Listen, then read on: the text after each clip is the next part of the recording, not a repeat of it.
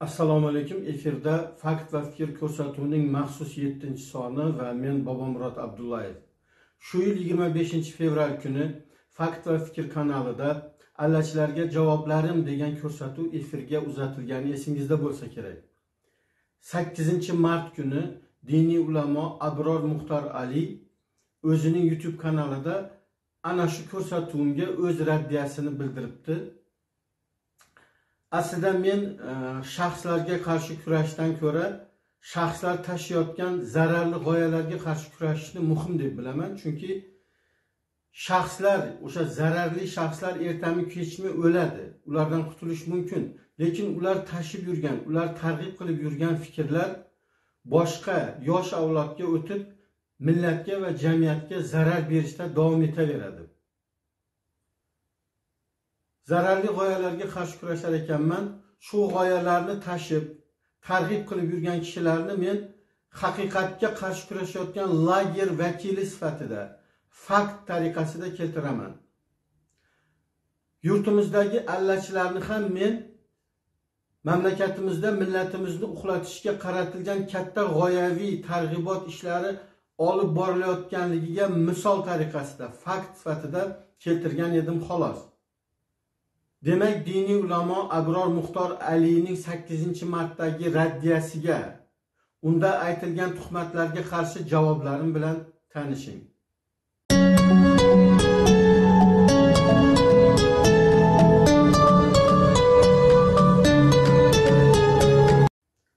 Avvalo shuni aytishim kerakki abror muxtor ali o'z raddiyasida men keltirgan bironta faktni inkor qila olmagan. Shuning uchun bu diniy ulamo o'zining doimiy repertuaridan kelib chiqib faktlarni muhokama qilmasdan meni va yaqinlarimni kamsitishga o'tgan o'zimning va onamning sha'niga bir qancha tuhmatlarni yog'dirgan. O'zi keltirilgan argumentlarga qarshi argument keltira olmaydigan shaxslar shunday bo'lishadi. Mavzu qolib shaxslarga tashlanishadi. Abror muxtor alining so'zlarini eshitsangiz siz ham mana shu diniy ulamo oddiy bahs madaniyatidan juda uzoq inson ekanligiga ishonch hosil qilasiz. Eshitamiz. Bir narsani aytib ketay. Mana bu bobomurod abdulla degan bola bor. Chala jurnalist bu. Chala jurnalist. Yozgan chizganlaridan chalaligi bilinib turadi. Unaqa filologiyasi ham zo'r emas.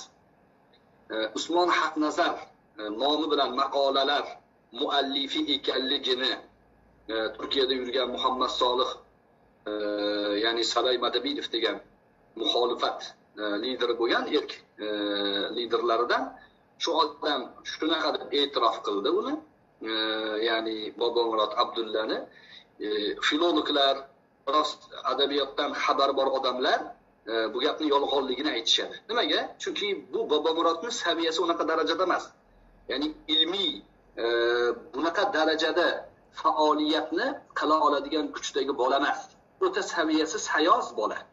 Nima deyayotganini o'zi biladigan odam emas abror qanday saviyadagi jurnalist ekanligimni sen qanday aniqlading? Sen diniy ulamomisan yoki jurnalistga baho bera oladigan mutaxassismisan? Senga go'yoki men chala jurnalistligimni aytgan filolog va adabiyotshunoslar kimlar? Ularning ismlari familiyalari bormi? Jurnalistika filologiya ham emasligini adabiyotshunoslik ham emasligini bilasanmi? Jurnalistga na filolog va na adabiyotshunos baho bera olmasligini jurnalistga faqat jurnalist baho bera olishligini bilasanmi? Usmon haqnazarov taxallusidagi maqolalarni men yozmaganligimni qanday isbotlab bera olasan?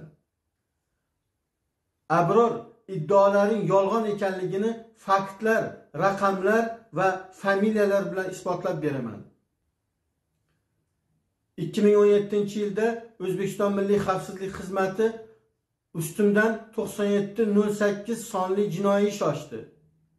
Shu jinoiy ishni tergov qilish davomida hadicha sulaymonova nomidagi sud ekspertiza markazidan tilshunoslik muallifshunoslik siyosatshunoslik bo'yicha bir qancha mutaxassislarni chaqirdi. Ularni ichida pitrimova nishonova soliyeva va yana bir qancha kishilar bor edi.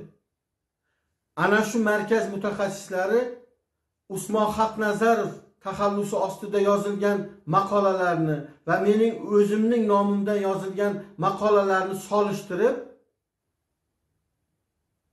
usmon haqnazarov taxallusi ostida yozilgan maqolalarning aksariyatini bobomurod abdullayev yozgan degan ilmiy xulosaga kelishdi. Va shu xulosani ular tergovga ham sudga ham taqdim qilishdi. Mana shu ekspertlar ularga o'rganish uchun taqdim etilgan bir yuz qirq ikkita maqoladan atigi o'n ikkitasini bobomurod abdullayev yozdi deb ayta olmaymiz deb xulosa qilishdi. Muallifshunoslik bo'yicha ekspert olga piterimova juda insofli ayol ekan. Hattoki sudda ham ana shu ayol mana shu o'n ikkita maqolani men bobomurod abdullayev yozdi deb ayta olmayman. Bunga mening ilmiy asoslarim dalillarim yo'q dedi. Lekin qolgan bir yuz o'ttizta maqolani aynan bobomurod abdullayev yozgan. Bobomurod abdullayevning qalamiga mansub deb sudda ham shu ko'rsatmani berdi. ikki ming o'n sakkizinchi yil yettinchi may kuni toshkent shahar sudi ham ikki ming uchinchi yil ikkinchi yanvardan boshlab to ikki ming o'n yettinchi yil yigirma beshinchi sentyabrgacha ya'ni roppa rosa o'n besh yil davomida usmon haqnazarov taxallusi ostida maqola yozib kelgan yagona shaxs bobomurod abdullayev degan hukm chiqardi. Abror seni kechagi iddaolaringga ishonilsa respublika sud ekspertiza markazining yetti sakkiz eksperti mutaxassisi toshkent shahar sudi usmon haqnazarov bu bobomurod abdullayev deb menga tuhmat qilishgan ekanda abror hadicha sulaymonova nomidagi sud ekspertiza markazining ekspertlari sening tiling bilan aytganda tupoy krishayu sen aqllimisan toshkent shahar sudining sudyalari to'nkayu sening na familiyasi na ismi bor filolog va adabiyotshunoslaring donishmandmi? Senga usmon haqnazarov taxallusi ostidagi maqolalarni bobomurod abdullayev yozgan bo'lishi mumkin emas. Chunki buncha katta hajmdagi ishni buncha uzoq yillar davomida bir kishining qilishi mumkin emas deb aytayotgan tarafdorlaringni men yaxshi tushunaman. Sen va sening tarafdorlaring bunday katta va xatarli ishni bir kishi qila olishini umuman tasavvur ham qila olmaysizlar. Bu sizlarning muammolaringiz. Reallik va faktlar shundan iboratki mana shu xatarli katta og'ir ishni men 15 yil davomida sabr toqat bilan qilganman. Bu ishni qanday darajada amalga oshirganimni maqolalarim ingliz fransuz ispan turk va boshqa tillarga tarjima qilinib dunyoning turli burchaklarida qayta qayta chop etilganidan ham bilsa bo'ladi. Dunyo ahli saviyasi past maqolalarni saviyasi past jurnalistning yozganlarini o'z tillariga tarjima qilib o'z yurtlarida qayta qayta chop etishmasa kerak. Bundan tashqari aqsh davlat departamenti yevropa ittifoqi parlamenti britaniya rossiya germaniya qozog'iston tojikiston qirg'iziston turkmaniston diplomatik korpuslari yillar davomida mening maqolalarimdan iqtibos keltirishgan. Mashhur wikileaks saytining asoschisi va yurituvchisi jurnalist julian assanj ham yillar davomida usmon haqnazarov deb yozilgan maqolalardan iqtiboslar keltirgan.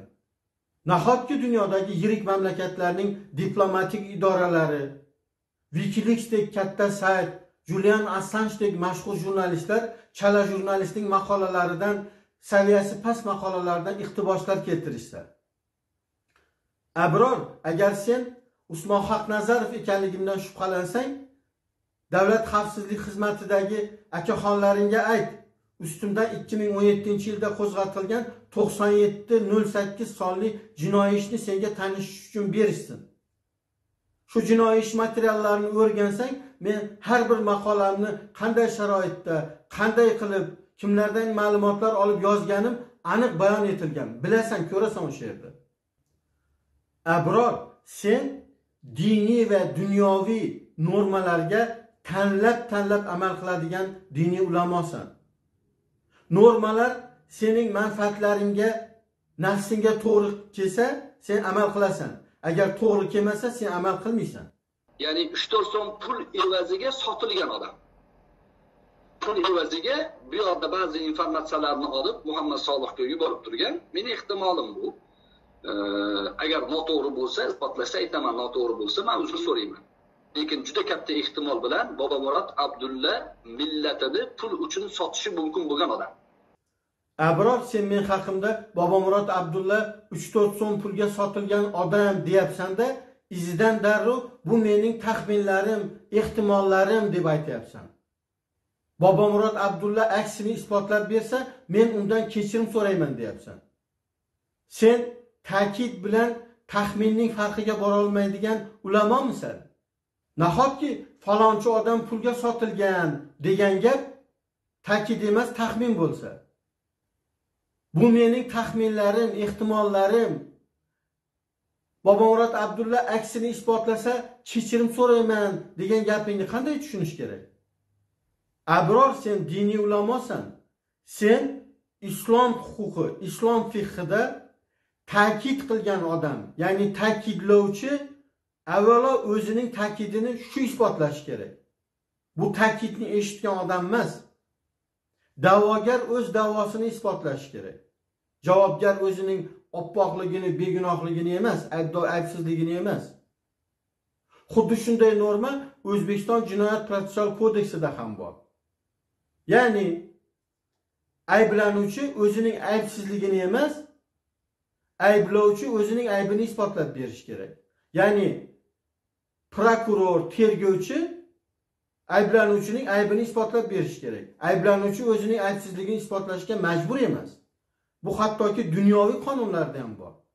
Islom fiqhidan kelgan bu narsa.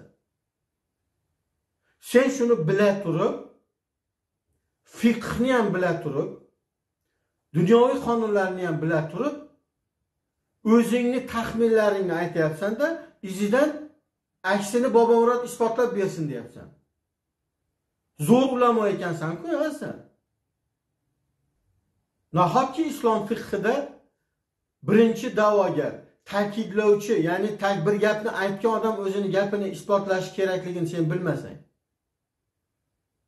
yoki bilib turib amal qilmaysanmi? Diniy qonunlar bo'yicha ham dunyoviy qonunlar bo'yicha ham men emas sen o'zingning iddaolaringni isbotlab berishing kerak-ku.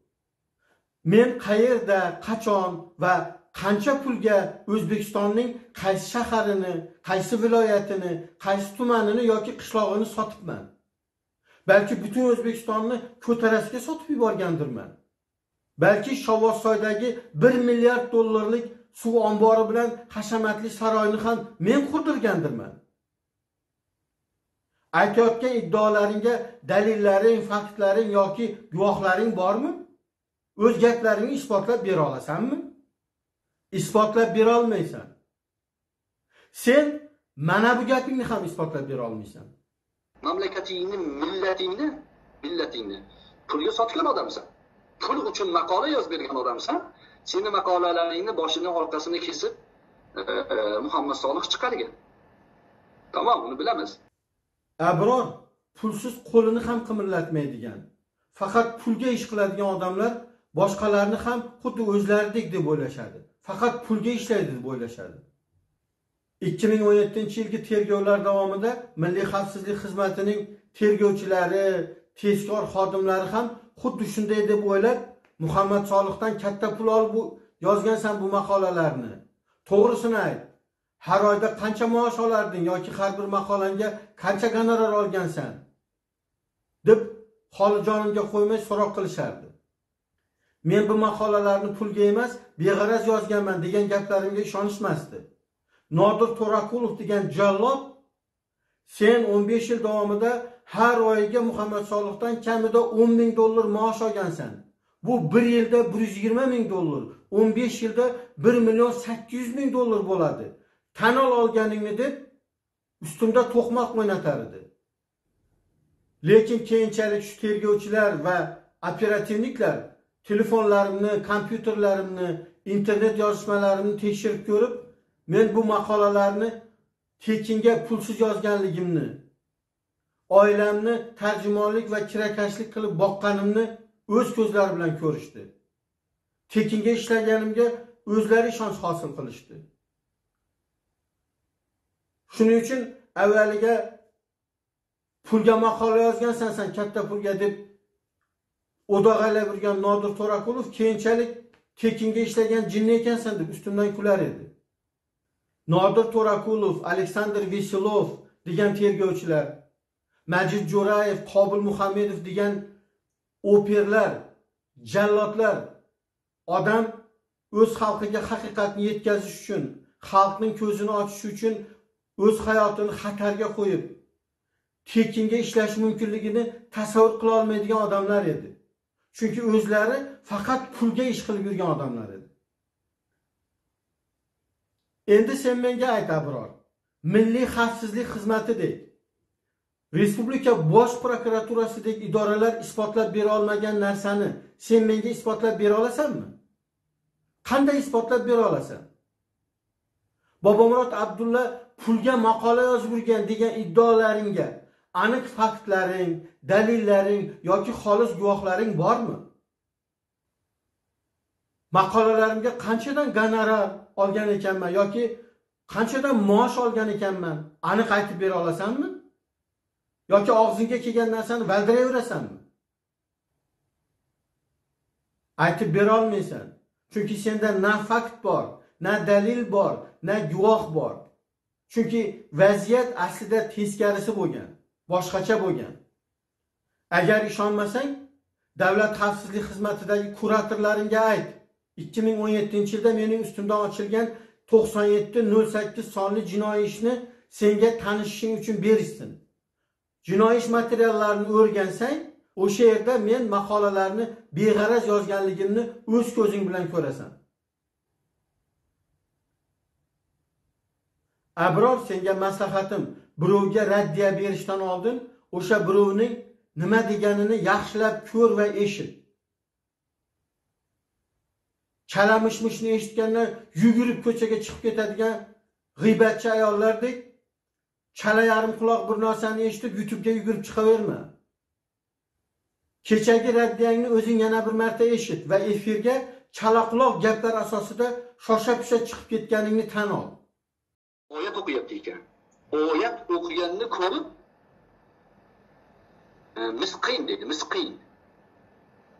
Misqin misqin degan kalima yo'q arab tilida. E, Qur'onda oyatga ma'no aytyapti ma'no unaqa emas.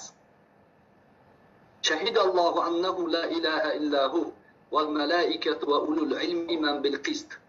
Oyatini o'qib qoiman bil qistni adolat bilan turgan ulamolar deb tarjima qilgan. Tarjimani ham kimdir yozib bergan.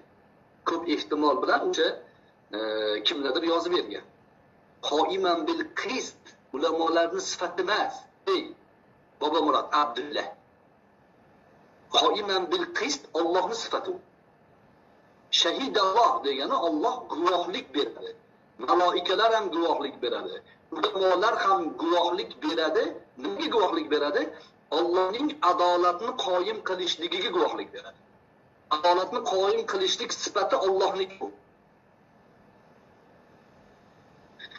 oyatni bilmaysan tafsirni to'g'ri o'qimagansan lekin qur'onni o'qib o'shani ma'nosini o'zingcha aytib keyin shunga xulosa yasashingdan nima deyiladi? Seni dinfurush deyiladi. Ayni dinfurushlik mana shu. Dinfurush kim? Dinni bilmaydi dindan foydalanib o'zini maqsadlarini amalga oshirmoqchi bo'lgan odam. Biroq allachilarga javoblarim degan ko'rsatuvda men misqin degan oyatni keltirmaganman-ku. Men hattoki unday so'zni ham ishlatmaganman. Sen bu gapni qayerdan olding? Meni kimdir bilan adashtirib yuborayotganing yo'qmi?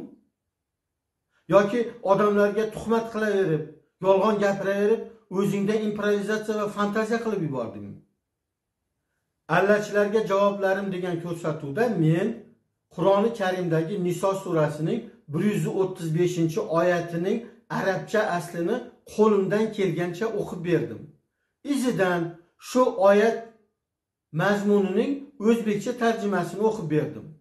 O'sha tarjima sen aytgandek mening o'zimniki yoki mening tanishlarimniki emas shayx Abdullaziz mansurning tarjimasi edi. Mana allachilarga javoblarim ko'rsatuvda keltirganim niso surasi bir yuz o'ttiz beshinchi oyatining arabcha asli va o'zbekcha tarjimasi ekranning chap tomonida oq va yashil fonda ko'rsatilgan. O'zbekcha tarjimasini yana o'qib beraman.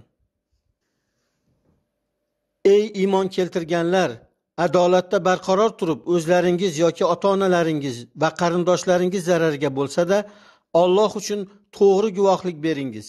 U guvohlik beriluvchi boy bo'ladimi kambag'al bo'ladimi? Alloh u ikkisiga ogohlik jihatidan yaqinroqdir. Bas adolatli bo'lishingiz uchun havoyi nafsga berilib ketmangiz. Agar tillaringizni bursangiz yoki guvohlikdan bosh tortsangiz albatta Alloh qilayotgan ishlaringizdan xabardordir. Ekranning o'ng tomonida esa xuddi shu oyatning shayx abdulaziz mansur tarjimasi oq fonda qizil to'rtburchakning ichida keltirilgan. Uni forum ziyouz com saytidan skrinshot qilib olganman. Niso surasi bir yuz o'ttiz beshinchi oyatining u yerda keltirilgan ya'ni shayx abdullaziz mansur tarjimasini ham o'qib beraman. Ey iymon keltirganlar adolatda barqaror turib o'zlaring yoki ota onalaring va qarindoshlaring zarariga bo'lsa-da Alloh uchun to'g'ri guvohlik beringizlar. U guvohlik beriluvchi boy bo'ladimi kambag'al bo'ladimi? Alloh u ikkisiga yaqinroqdir. Bas adolatli bo'lishlaringiz uchun havoyi nafsga berilib ketmangizlar. Agar tillaringizni bursangizlar yoki guvohlikdan bosh tortsangizlar albatta Alloh qilayotgan ishlaringizdan xabardordir. Ikki tarjima o'rtasida biror farq topdingmi abror ikki tarjima ham bir biridan umuman farq qilmaydiku.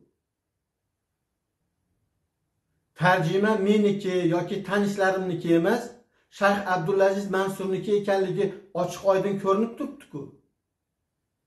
Endi sen menga aytchi kimning miyasiga qurt tushgan? Mening miyamgami yoki sening miyangami? Abror sen odamlarga tuhmat qilaverib charchamadingmi? Yolg'on gapiraverib charchamadingmi? Sen raddiyangda bobomurod abdulla oyatning tarjimasini o'zining siyosiy maqsadlariga siyosiy manfaatlariga moslashtirib tarjima qilgan va o'qib bergan. Buni din tujjorligi dinfurushlik deyiladi deb aytgansan. Men o'zimning tarjimamni emas o'zbekiston musulmonlari diniy idorasining rasmiy ruxsati bilan chiqarilgan tarjimani o'qib berganim ko'rinib turibdiku. Modomiki shunday ekan bu tarjimaga nisbatan senda nimaiki da'vo yoki e'tirozlaring bo'lsa menga emas. Borib tarjima muallifi shayx abdulaziz mansurga va bu tarjimani chiqarishga rasmiy ruxsat bergan diniy idoraga borib bildir. Я тут ни при чем deydimi? O'rislar tarjimaga bo'lgan e'tirozlaringni bildirish uchun shayx abdulaziz mansurning oldiga borganingda diniy idoraga kirganingda bu tarjima siyosiy maqsadlarda siyosiy manfaatlar uchun moslashtirib tarjima qilinganligini aytishni abdulaziz mansur bilan diniy idorani din tujjorligida ayblashni ham unutma xo'pmi? San anavi gitarangni olib ashulang aytib yuraver din masalasi sanga emas. Ummat haqida ulamolar haqida gapirish mutlaqo sanga emas sanga emas. San nima tarafkashlik qilyapsan obidxon qor akani gapirma вообще gapirma obidxon qor aka seni ko'rsa yuzingga tupurib yuboradi. Obidxon qor akani man juda yaxshi bilaman. Qanaqa inson bo'lganini ham yaxshi bilaman. Sanga emas obidxon qor akani e, tilingga olmasan sanga o'xshagan dinidan e, siyosat siyosat maqsadida foydalanadigan odam emas u aka abror obidxon qori nazarov haqida shu yil sakkizinchi martda aytgan gaplaringga ishonaylikmi yoki o'tgan yili o'n to'qqizinchi iyulda aytgan gaplaringga ishonaylikmi? Asosiy ixtilof o'sha avval e, buni bir qancha ma'nosini gapirib aytib keldim. Salafiylik tushunchalari kirishligi chetdan e, salafiy tushunchalar bilan e, bu mamlakatga diniy vaziyatni tarqatishimiz kerak degan g'oyalar bilan o'rtada katta ixtiloflar kelib chiqib ketib qoldi. Ana shu ixtiloflarning e, markazida obidxor aka ham bor edilar chunki nima uchun markazda edilar chunki muxlis ko'p edi. Atroflarida ergashib labbay qor aka deb turgan odamlar ko'p edi. Keyin bu narsa siyosiylashib siyosiylashib va e, man toshkentga kelgan paytimda to'qson to'qson beshinchi yil menimcha. To'qson to'rt yoki to'qson beshinchi yil. Hazrat rohimulloh ham chiqib ketgan paytlari obidxor aka shu yerda edilar. Siyosiy vaziyat u kishini e, muxolif bo'lib qolishlikka siyosiy maydonga kirib ketib qolishliklariga sabab bo'lgan lekin o'sha siyosiy ma'noda xatolarga yo'l qo'yilgan. Bu xatolar shaxsga nisbatan emas qilingan xatolar diniy idora bilan hazrat rahimaullohga qarshi qilingan fitnalar ichidagi o'yinlar e, har turli mitinglar har turli siyosiy e, kelishmovchiliklar oqibatida keyin juda ko'p juda ko'p yoshlar e, zarar ko'rdi. Musulmonlar zarar ko'rdi. Shu yil sakkizinchi martdagi chiqishingda sen obidxon qori nazarov dinni siyosatga aralashtirmagan deb maqtagansan. Lekin o'tgan yili o'n to'qqizinchi iyuldagi chiqishingda tamoman teskari gapni aytgansanku. O'sha o'tgan yilgi ikki ming yigirmanchi yil o'n to'qqizinchi iyuldagi chiqishingda sen obidxon qori nazarov shayx muhammad sodiq muhammad yusufga qarshi qilingan fitnalarning ixtiloflarning siyosiy mitinglarning markazida edi. Buning natijasida ko'plab musulmon yoshlari zarar ko'rdi degansan qaysi bir gapingga ishonaylik abror nega bir odam to'g'risida ikki xil gapiryapsan? Sakkizinchi martdagi chiqishingda obidxon qori nazarovni nega maqtaganingni aytaymi? Chunki senga bu maqtash meni kamsitish uchun kerak edi. Obidxon qori nazarov seni ko'rsa yuziga tupuradi degan malomatni haqoratni aytish uchun obidxorni maqtash kerak edi senga. Obidxon qori nazarov qaysi gunohim uchun meni yuzimga tupurishi kerak? Obidxon qori nazarovni shvetsiyada otib ketgan yuriy zhukovskiy degan odam o'zbekiston milliy xavfsizlik xizmatining killeri bo'lgan. O'sha paytdagi milliy xavfsizlik xizmatining rahbariyati yuriy zhukovskiyga obidqorini otib moskva orqali tranzit bilan to'g'ri toshkentga qaytib kelishni buyurgan. Lekin jukovskiy o'sha killer to'g'ri toshkentga kelmasdan tranzit yo'lakda emas moskvaga chiqib bir ikki kun dam olaman deb moskvada qolib ketgan va rossiya fsbsining qo'liga tushgan. Keyinchalik fsb uni shvetsiyaga berib yuborgan va u shvetsiyada sudlandi. Mana shu buyurtma suiqasd tafsilotlarini gvardeyskiy qamoqxonasida 2017 yilda mxx podpolkovniki. Murod abduyusupov boshqa o'tirgan qamoqdagi mahbuslarga aytib bergan. Murod abduyusupov general shuhrat g'ulomovning o'ng qo'li bo'lgan. Ana shu murod abduyusupov boshqalarga aytib berganini obidqori nazarovga suiqasd aynan MXX rahbariyati tomonidan buyurilganini buyurtma berilganini men 2018 yildagi sudda o'zimning va yaqinlarimning hayotini xatarga qo'yib bo'lsa ham sudda aytdim fosh qildim. Va suddan o'sha podpolkovnik murod abduyusupovni qaytadan so'roq qilishni uning so'roqlari natijasida olingan ko'rsatmalar asosida obidxoriga suiqasdni buyurgan mix rahbariyatini jazolashni so'raganman. Obidqori nazarov mana shuning uchun yuzimga tupursa kerakda uning killerlarini buyurtmachilarini jazolashni so'raganim uchun yuzimga tupursa kerakda ko'rsa meni sening aytishingcha obidxon qori nazarov haqida umuman islom haqida mening na gapirishga na bahslashga haqqim yo'q ekan. Nima? Qur'on islomdan gapirish va bahslashish huquqi faqat mullalarga berilganmi? Abror esingdan chiqarma. Qur'on va islom mullalarning monopoliyasi emas. Bu ne'mat hammaga o'qish uchun o'rganish uchun bahslashish uchun va amal qilish uchun berilgan ne'matdir. Senga o'xshagan allachi mullalar din haqida gapirish sizlarga emas deb xalqni dindan chetlashtirasizlar. Din bilan qo'rqitasizlar. Chunki odamlar dinni mustaqil o'zlari o'rganishsa dinning ahkomlarini bilib olishsa sizlarning nayranglaringizni da'vatlarni faqat ezilgan xalqqa qarata qilayotganingizni ezayotganlarga qarshi hech narsa gapirmayotganingizni nasihat qilmayotganingizni fosh qiladi bilib qo'yadi.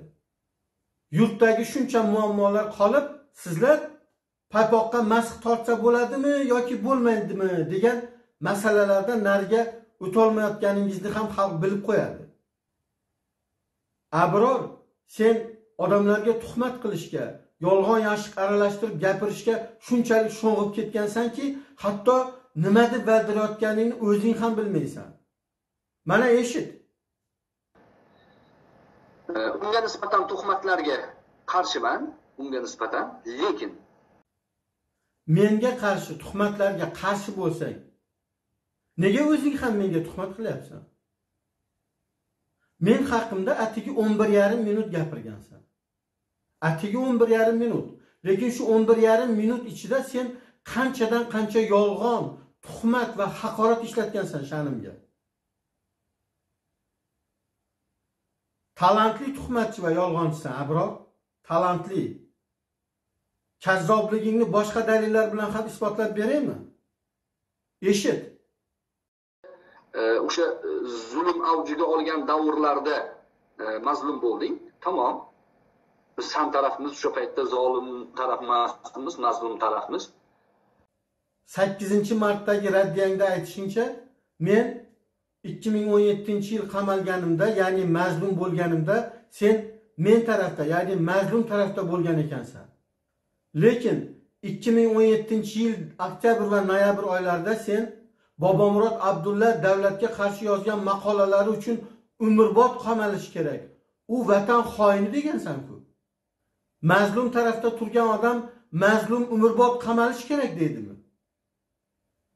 ikki ming o'n yettinchi yilda qo'limga kishan solinganida xuddi ismat xushevdek xursand bo'lganing esingdan chiqmagan. Просто yolg'on gapiraverib o'rganib ketgansan. Sen super mega yolg'onchisan. Abror sen abror emassan sen abu yolg'onchisan. Jumamazlarda sen emasmi xalqqa qarata yolg'on gapirish munofiqlikning uch belgisidan biridir. Munofiqlar do'zaxning eng tubida bo'ladi deb nasihat qiladigan. Yolg'on gapiraverib munofiq bo'lib qolishdan do'zaxda kofir va mushriklardan ham pastda bo'lishdan qo'rqmaysanmi abror lekin lekin san dindan dinfurushlik qilishga nima haqqing bor seni dinda ulamolarni gapirilmaydi degan gapni ma'nosini tushunishga sanga hali ancha bor.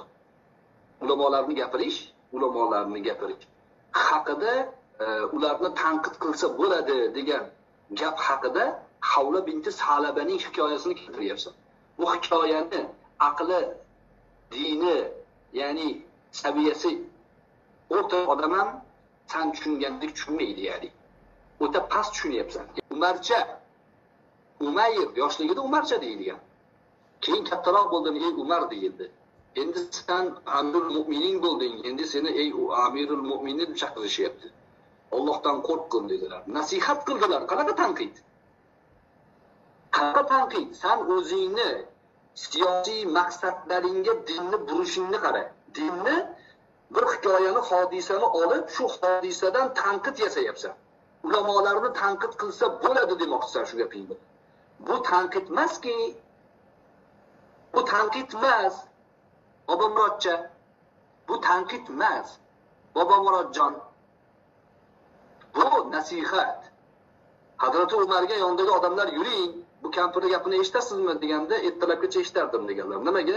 Buni gapini olloh eshitdi deganlar tanqid emas o'y bobo murodjon abdulla abror bir xil ishni biz ikki xil nom bilan aytyapmiz.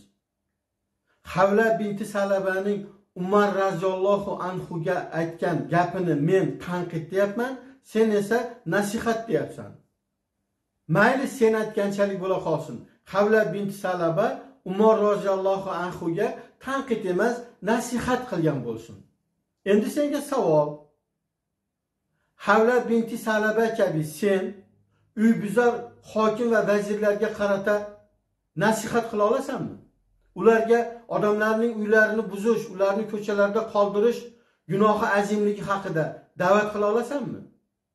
Davlat byudjetini o'marish do'zaxiy gunoh ekanligi to'g'risida nasihat qila olasanmi? Shunga senda jasorat topiladimi? Havla binti salaba bir ayol bo'la turib xalifaga da'vat nasihat qilgan.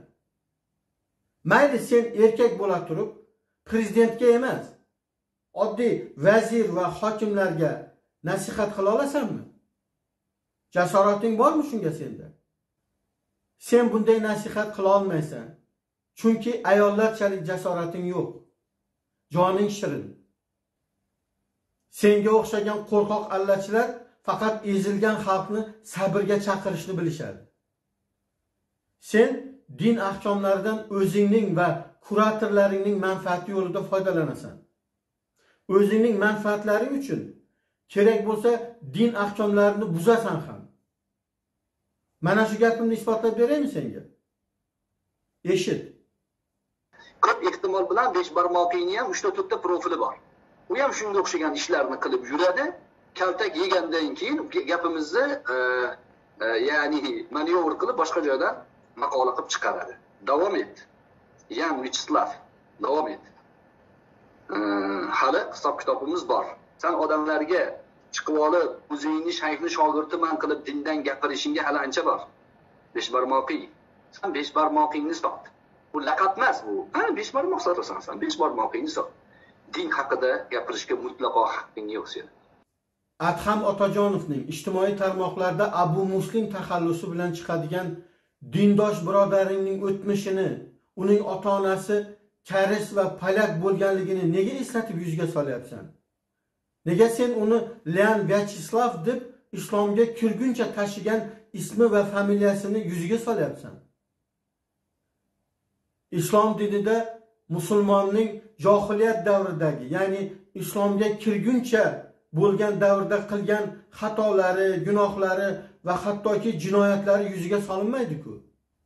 Abu sufyonning xotini hindning buyurtmasiga ko'ra hamza roziyallohu anhuni o'ldirib uning jigarini sug'urib bergan vahshiy keyinchalik islomni qabul qilgan.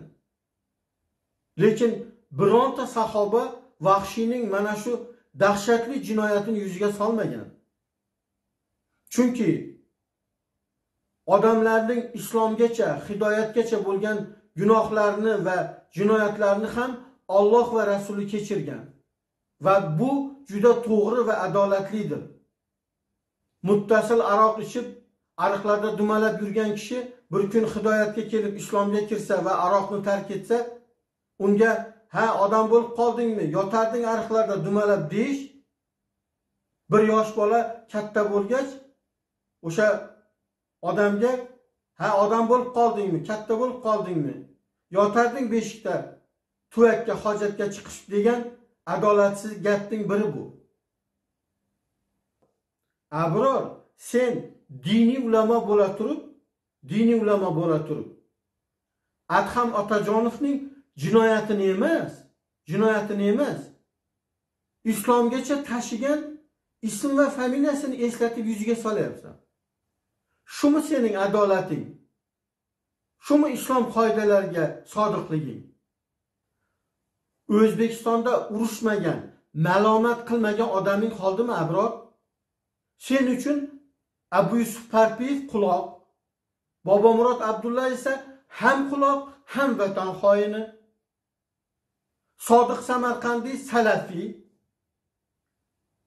aka uka jurnalistlar shuhrat qudrat va shuhrat bobojonovlar sen uchun gey.